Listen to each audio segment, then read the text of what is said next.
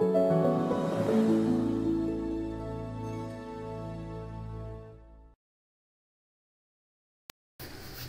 welcome back. In this short video, I'm going to show you how to include a page without it showing in the menu.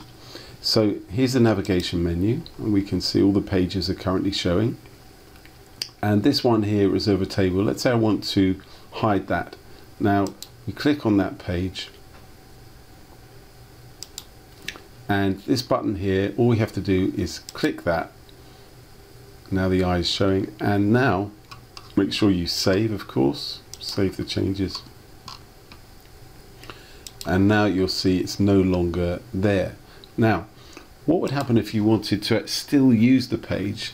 For example, have it uh, a link from another page in your app to, to this one, but it's not showing in the menu. How would you do that? Well, very easy.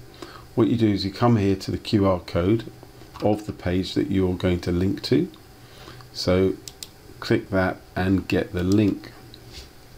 So that's the link to the page. Close that and let's say I wanted to link to it from this page here, content. I've put in some text there. I've already put the link but I'll just edit it and put it in again. Uh, you can have it open in a new window or in the same window. It's probably best to have it in the same window, uh, but that's up to you. So you click that. Normally opening a new window you'd use if you're taking the person out of the app to another external website.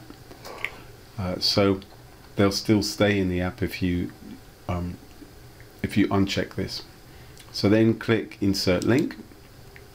Make sure you save the changes. And that's done. Now if I come here and come to the content page and I click this link it takes me to the reserve a table page which isn't showing in the menu. Okay, hope you found that helpful. See you again in another video.